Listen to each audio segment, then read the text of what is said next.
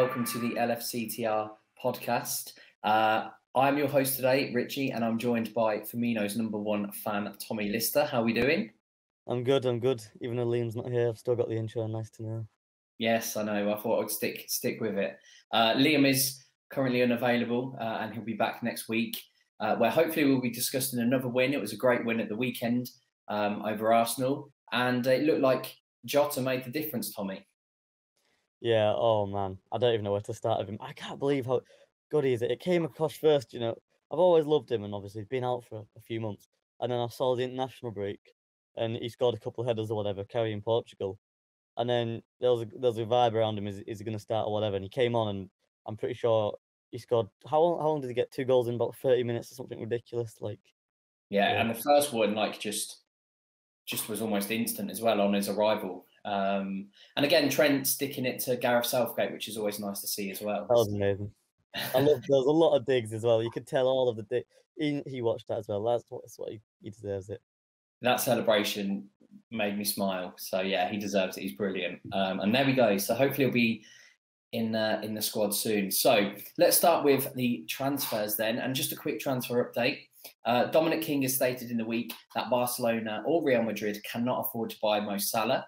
Uh, following that interview that he did when he was asked if he would like to play in Spain, and of course Mo Salah said yes, which brought up all sorts of rumours. Um, but Dominic King, a very reliable Liverpool journalist, has said that Barca or Real Madrid can't afford him this summer.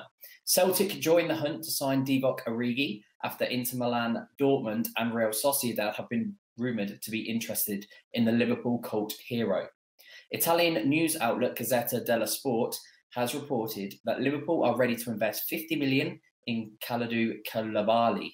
Um, again, maybe that might be a bit of a bit of a power move to make the Ibrahima Konate deal progress a little bit. Um, you know, I I don't know how you think about the Koulibaly links, Tommy. Do you think they're realistic or something that maybe we're just trying to put in there? Um, I don't, especially with the likelihood of Konate coming in. There's no chances. Just some some source that's probably not reliable. Mention that yeah. for the sake of it, as per. Yeah, and I'd hope so because French news outlet RMC say that um, Konate has actually undergone a medical in France ahead of a summer move to the Premier League champion. So again, one to keep. Yeah, I mean, one to keep your eye on. That looks far more reliable. But for more information on any of those stories, please do head to our website. So the main rumor, or one of the main, one of the two main rooms that we're looking at today, uh, you would have seen plastered everywhere, and that's over Haaland's movements. Um, so the 20-year-old world class already forward Erling Haaland has been in talks with multiple clubs, and Liverpool are rumoured to be amongst them.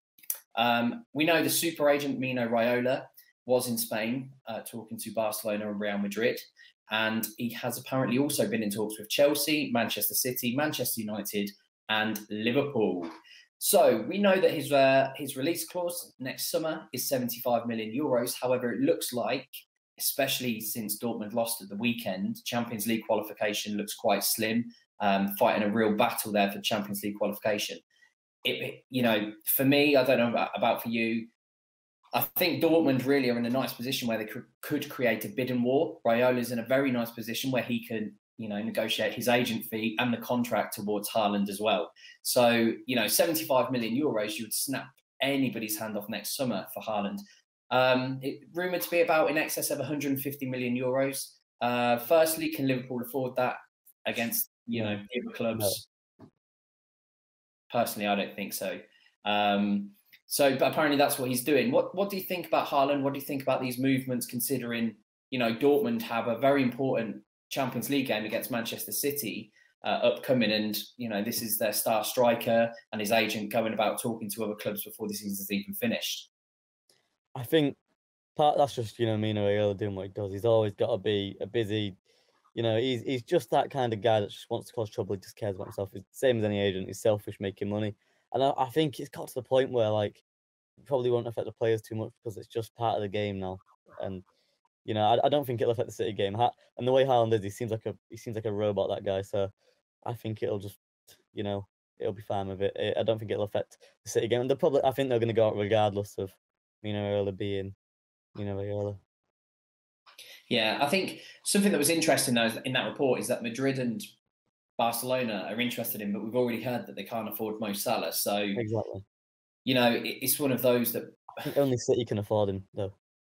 Yeah, I mean, I, I don't know pretending they can, but that's that's not true. Yeah, and and again, it's you know Raiola's going to get the best fee for Dortmund. It's going to be a win-win situation for them because they're not going to want to sell Haaland for 75 million euros next summer. Let's be honest, he's worth way more than that. But that's his release clause, so he has to go this summer, or he will go for 75 million next summer. Um, who I mean, we Tommy and I both spoke before the podcast as well, and I think we both agreed that you know Haaland is only going to come if one of you know Mane, Firmino, or Salah leave. Um, and neither, so, none of them are. None of them are. No, I can't. I can't really see it if I'm honest as well. Um, but as I said, Dortmund are in the dogfight for Champions League football, so it certainly stokes the fire a little. I think um, Sancho potentially even they're not going to lose both. I think they're probably just going to take the 80 mil hit on Haaland, which is probably unfortunate because unless City pay up, uh, I I think he's staying for another year, and Sancho's probably going to come to England, isn't he? So I'd imagine I don't think they they can afford to get rid of both in one season. No, um, and didn't didn't Pep say as well, which uh, the end is nigh if this is true. Pep said that Man City can't afford Haaland this summer as well. I don't believe that for a second. It's like when he does those interviews before playing like Burnley and we'll say Sean Dyche one of the best managers ever seen or something ridiculous. He he does it all the time. I just don't believe a word he says. That City have all the money in the world. Yeah, if um if a country can't afford one player, then there's something wrong, isn't there? Yeah. Um, but no, it looks you know, I don't. I think it's it's very it's, it's like you said, very coy from Raiola, and and that's how we know he does business. He's seeing what's out there. Personally, I just think it's a, a pretty snaky move considering they're playing Man City in a couple of yeah. days. Um, but there we go. That is Raiola, isn't it? So uh, yeah. Would you want, even if I'm saying you can have Haaland, but you have to have Raiola? What are your thoughts? Oh yeah, obviously, obviously, I'd, I'd get I'd get over the agent. He can be an asshole for us until he's trying to get a move to Barcelona in three, four years' time. Which is what's going to happen wherever he goes in the next, you know, three, four years. He's always if he doesn't go Madrid or Barca, he he will end up there because Raiola will, will stoke a move there. If he ends up at, let's say, Madrid or Barca, he's going to come to the Premier League in four or five years. So, yeah, yeah, I don't, I just don't think we'll ever go for. I think Raiola being his agent will play a factor in him being a player we just wouldn't pursue anyway. Yeah, I, I think so too. I think so too. Moving on to our second source, then uh, something which is a little bit, you know, perhaps more um, let's say, cost efficient, and that's Memphis Depay. So, Marca, the Spanish outlet, have said that Memphis Depay, who's out of contract this summer, um, is interested in a move to Liverpool, and Liverpool are one of four clubs with a chance of signing him. Um, the other clubs involved are Paris Saint Germain, Barcelona, and Chelsea, uh, who who have you know come up. Their names come up quite a bit, and the report goes on to say that Liverpool are very interested in signing Depay, especially since the fact he is on a free as well. Again, I personally think he would be a really good asset to Liverpool. He can play, you know, on the left uh, side of attack. He can play in centre midfield. He can play in as an attacking midfielder. Again, we know Klopp likes that versatility, so I think that Memphis Depay would be a really good shout. I think also, like Salah when he came back, he's got something to prove in the Premier League because, you know, at Manchester United, he didn't set the world on fire um, and he is doing so now at, at Lyon. Um, what's your views on Memphis Depay? Yeah, I'd take him back if he was to like bin his Man United chain and all that, his United shirts that he, he, he paraded on Instagram. If he could, you know, if he could cut ties and with them, I would yeah. take him for the for the reasons you mentioned. Like he is, I think, there's a good player, and for the fee, I don't think we can say no when our backup at the minute. Like Origi and, and whatnot. And obviously, if we are going big on other players, and someone like if we were to sell Shaqiri for ten to twenty mil and bring in Depay for a similar amount of money, I think that would be an upgrade and smart business. As I, I, I, don't know, has he got? I know he had an ACL, but I'm not sure if he has injury problems or not. But I, would be happy with Depay if it was strictly some sort of backup transfer and it was on the on the cheap. Yeah, he's um. I mean, since going to Lyon, he has been doing really well for himself. This season, he's played 31 times, scored 14 goals, and assisted nine, which is a pretty good record. And it's it's like you said, it's it's one of those that I know it's the French league, but at the same time, you know, it's it's going to be an upgrade. a couple times. I've seen him play well against City in the last few years. So There's yeah. definitely something there with him. There's definitely something there. Yeah, and there's definitely an upgrade as well on on Origi, like you've said, and and in France alone, in 170 games, he scored 69 goals and assisted 52. So his assist rate yeah. is really good as well. You know, he doesn't just score goals; he he does assist a fair amount as well from that left hand side or playing just behind. Um, so I think he would slot in really well. I mean, you know, if we're looking at Liverpool's attack, we've already got four quality attackers, and I think adding Depay in he's not going to play every single game, but at least mm. it allows you know one of those three and Jota. We should really just call them the four now, shouldn't we? Because it's not the front yeah. three anymore. Um, yeah. We should call him the four. But he would slot in there perfectly, wouldn't he, for that for that rotation? No, yeah, I agree. Depay, I would not turn my nose up at all. he's on um he's on eighty seven thousand pound a week at Lyon, so it's not even as if not the worst wage. I don't think. No, I don't think so. You know, I know I that within our wage bill as well, like compared to our, our wage bill, it doesn't pay too high anyway. I think that that's a reasonable deal that we can make there.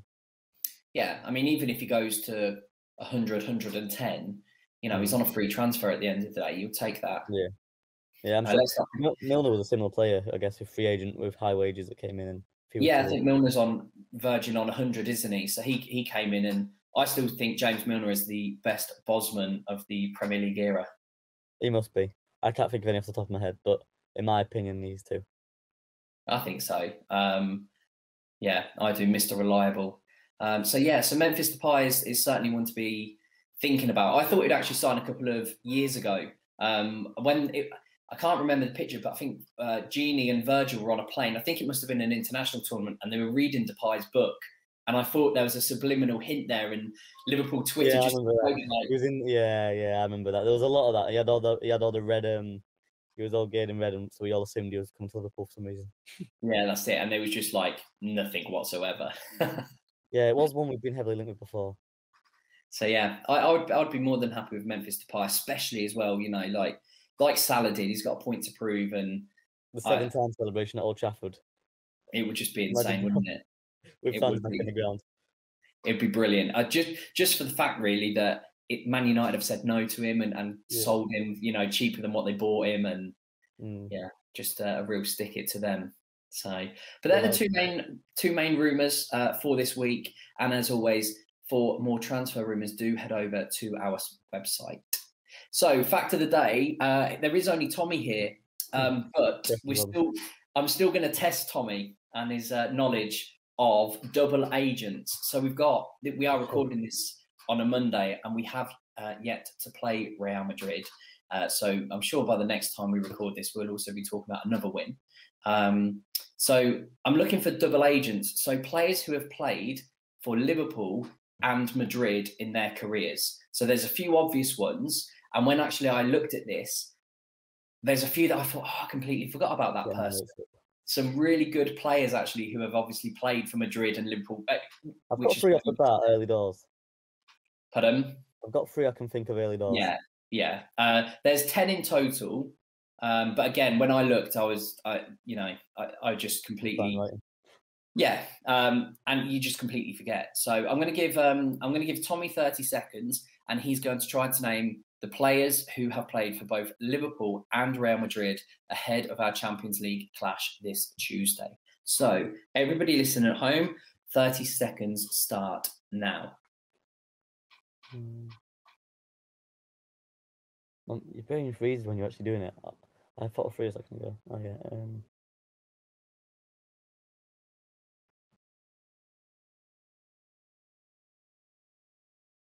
I'm I'm stuck. Got ten seconds. It was obvious that I'm missing.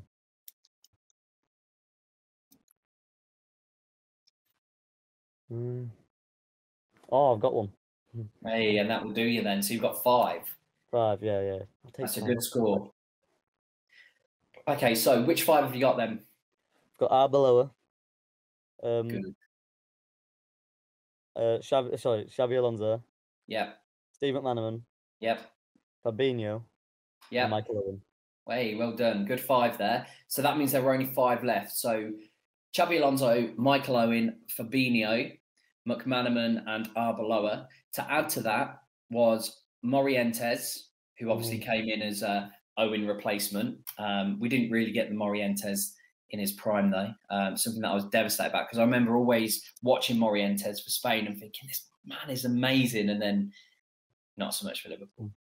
Um, Nicolas Anelka played for both. Um, Antonio Nunez as well. Over my head. Yeah. Uh, Nuri Sahin. And the one I completely forgot about, and you should never forget about this man, Jerzy Dudek. Oh my God, at Real Madrid. Yeah, I, I know. No he um, obviously our 2005 hero. So uh, Dudek played for both too. There we go, the star behind Tommy's head. Um, mm. So yeah, I'll Grobbelaar legs. Won us in Istanbul. So there you go. There's there's ten double agents, and I think you know there's some high as you'd expect because it's Liverpool and Real Madrid these players are playing for, but some really high quality players uh, playing for both. Um, so yeah, it'll be uh, an interesting tie on Tuesday. And again, we were talking before the podcast, and it's one of those that I'm not. I don't feel worried or anxious, and I don't know why. I don't know whether that's a little bit conceited, perhaps, but I'm not worried about it. Yeah, and against Real Madrid, I I I just think uh, they don't look. They've had injury problems like we have, and they also just don't look the Real Madrid that you know that embarrassed us. Not I say embarrassed us, beat us in Kiev. It's not the same anymore. I, am I'm, I'm relatively confident. No, I was at. You know, uh, when the news came out about Ramos uh, being injured, I, was wasn't sure I was happy or sad about that. I wanted him to be there. Yeah, I did too. And I know that Salah and Klopp have both come out and said they, they don't want revenge and you know, it's nothing to do with what happened in Kiev, but there must be an inkling of Salah. There's like, no way it isn't. They're, they're saying that because they've got to and they're professionals. Yeah. But especially with Salah's mentality and the way he is, that's that is a one that was hundred percent on his mind instantly. Or even the little thing like at the awards ceremony when Ramos tapped him on the shoulder, you know, that that will have been in his head. Yeah. But uh, winning, going through will do. Going through will do. A lovely like Instagram post from Salah, somewhat cheeky. That that'll do. Yeah, yeah, and uh, Madrid aren't the force, obviously, what they used to be. They're still they're still a massive threat, and you know, let's not, you know, let's not uh, just pass them by, so to speak, so much. But I, I feel quite confident. I don't know whether that's a good thing or not, um, because I was adamant that we'd win Kiev. Yeah, I, I was, was, adamant that we'd. I was certain we were going to lose in Kiev. Oh dear, I was fine until uh, Gareth Bale came on. and, it was uh, a Salah injury for me, but we don't need to speak about that. The no. Salah injury. No, Hopefully it's, revenge. It's it's one of the um, when they made the draw.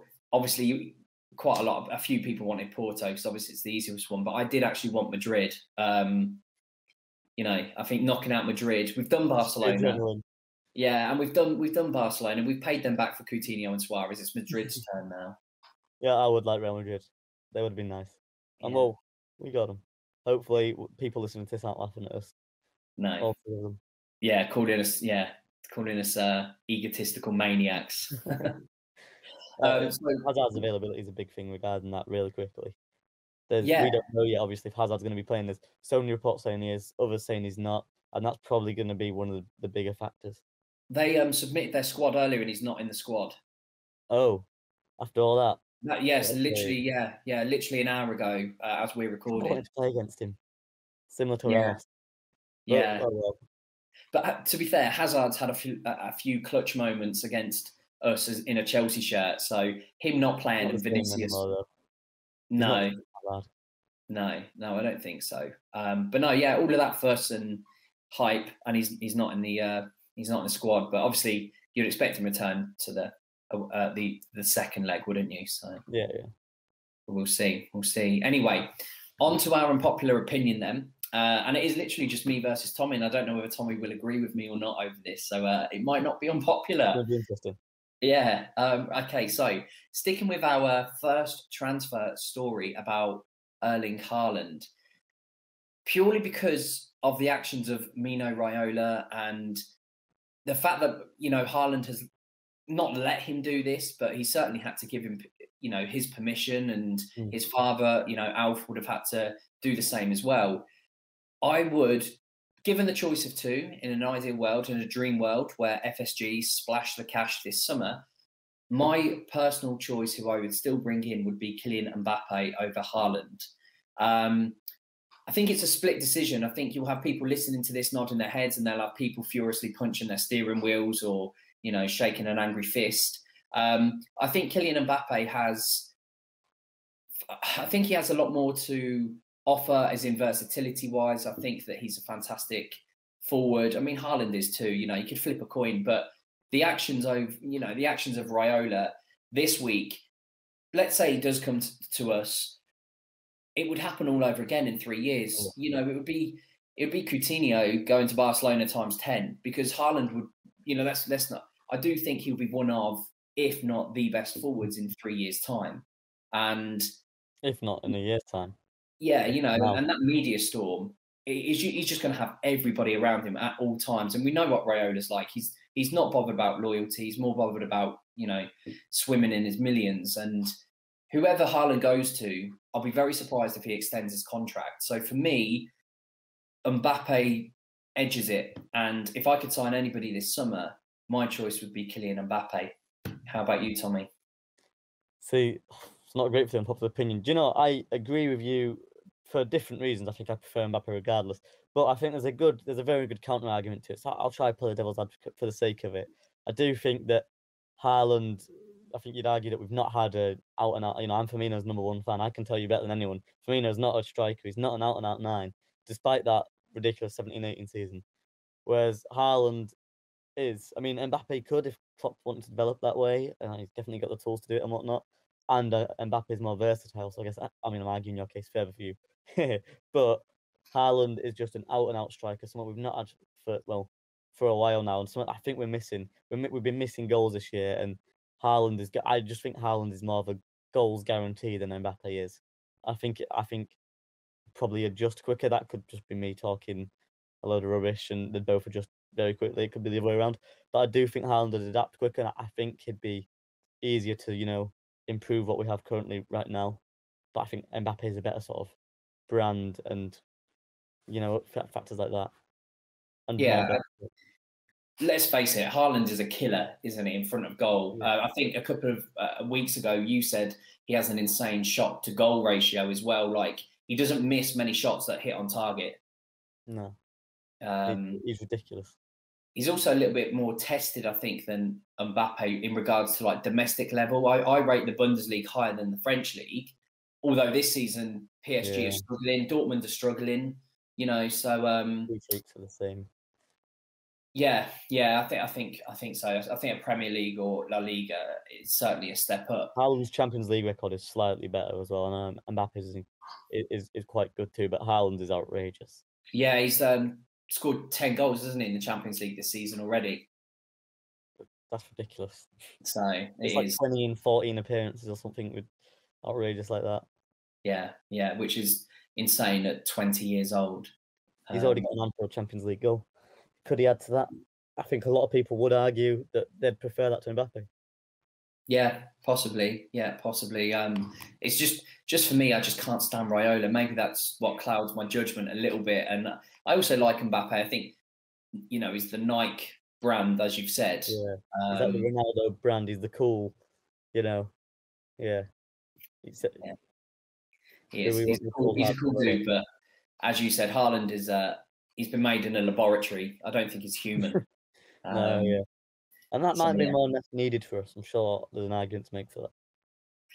I'd also, I also think if Haaland goes to Man City, as pessimistic as it might sound, I think City have the next five years wrapped up.